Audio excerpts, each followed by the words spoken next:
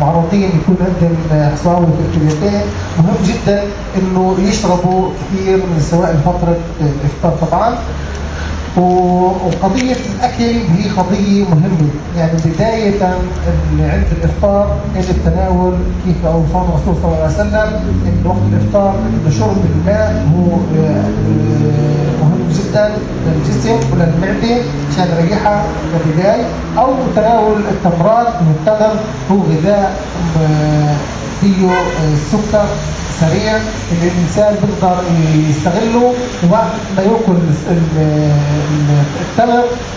فيه مواد اللي بتساعد الجسم على الهضم ومهم جدا عشان إحنا نكمل بعدين الإفطار، الإفطار ببلش بأشياء اللي بتكون مثل شوربة، شوربة بسيطة اللي بتساعد الجسم بعدين فترة طويلة من الصيام. بدك انت تعطي للجهاز الهضمي تدريجيا يفوت على جو الغذاء مش مرة واحدة ينثل على المعدة. فالكاسة شوربة ممكن نستنى شوي نبلش نأكل الأشياء اللي هي مثل السلطة والوجبة الأساسية بالكمية قليلة. وطبعا فترة الصلوات وصلاة التراويح هي مهمة جدا. ممكن نحكي عنها برضه دكتور. قضية الصلاة اللي فيها نوع من الرياضة وبعدين ما نرجع من الصلاة ممكن الإنسان يكمل وهاي ممكن تساعدنا لبرنامج يومي صحي فيه رياضة وفيه غذاء متوازن لصحتنا ولصحة أجسامنا. بارك الله فيك. طبعا كلام درر كلياتها أمور مهمة جدا عند الإفطار إخوان يعني في عندنا مشكلة. إحنا مشكلتنا اليوم هي مشكلة كيف ننظر للأمور؟ بعيدين كل البعد عن نصائح الرسول صلى الله عليه وسلم. يعني في حديث عن الرسول صلى الله عليه وسلم يقول يكفي ابن آدم لقيمات فإذا كان لابد فثلث للطعام وثلث للشراب وثلث للهواء. بس إحنا بنقول يطلعوا الهوايات برا. لما بقول الواحد بده يشبع لأنه لا. فهو اللي حكاه الدكتور أنا مش صدفة كل درر لأنه حقيقة درر بس بفسر ليش.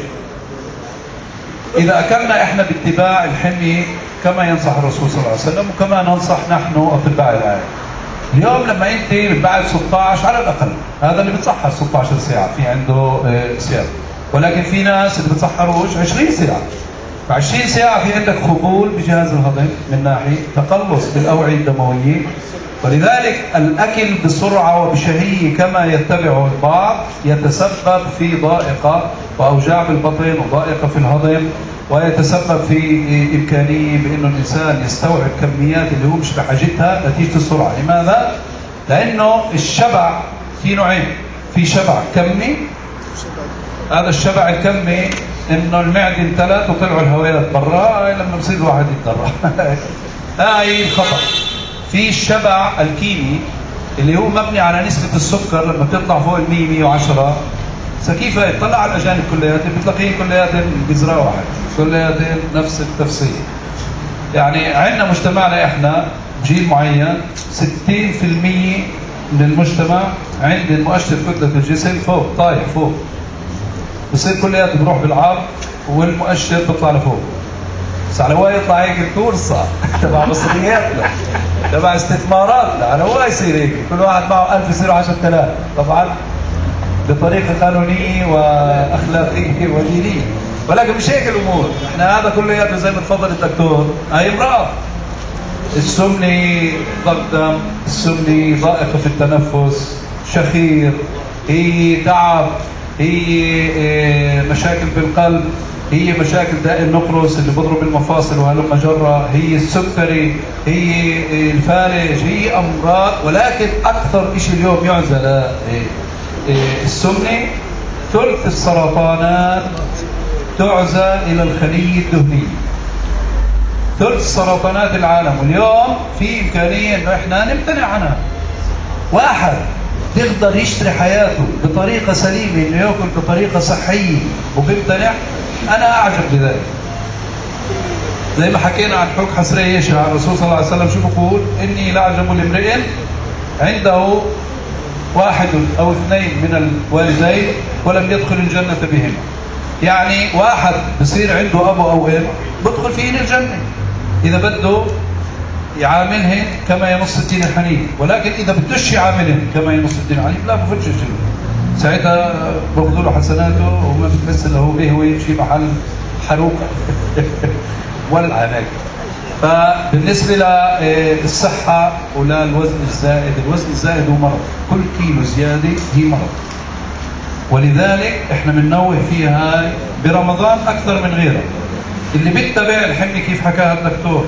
بيبدا شوي شوي. اولا ببط إحنا مجتمع كل اعراسنا بتخلص بخلال 10 دقائق ألف واحد يبقوا بالعرس تطلع على العرس تنطف بعد 10 دقائق ربع ساعة. وين كيف أكلت هاي الناس؟ وين؟ وين؟ عند الأجانب بقعدوا نص ساعة 40 دقيقة. وهيك لازم تكون. هيك ربنا خلقنا. لازم تأكل ببطء وبتأني كل شيء. ها لازم يكون في تأني العجلة من الشيطان هو. تمام.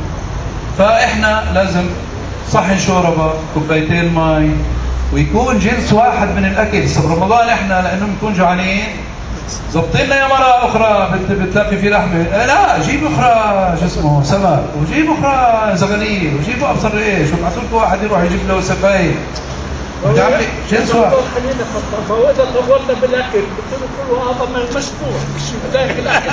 لا لا لا شيخ. إيه إحنا بنحكي تاكل شوي شوي. خلال 20 لحد 25 دقيقة ترتفع نسبة السكر بالدم. وحتى لو إنه بعده الأكل ملان بتحس حالك شبعان وما بتعرفش تاكل ولا شيء. اللي باكل هو الدماغ وبقولوا هي العين لا هو مش العين، العين بتعمل ارتداد على الدماغ، بالاخر في مركز بالدماغ مسؤول عن الشبع وفي مركز بجنبه مسؤول عن الجوع. مركز الشبع إذا نسبة السكر طلعت فوق ال 110 بصير يقول لك خلص بكفينا يابا. كفي. 120 بقول لك خلاص والله ما عاد تقدر بتصير تترجى. يا زلمه من شاري أنا مو شاري شو الاكل كل واحد قبل شاري فهاي الأمور. بالنسبة للسمنة هاي أنهيناها. هسه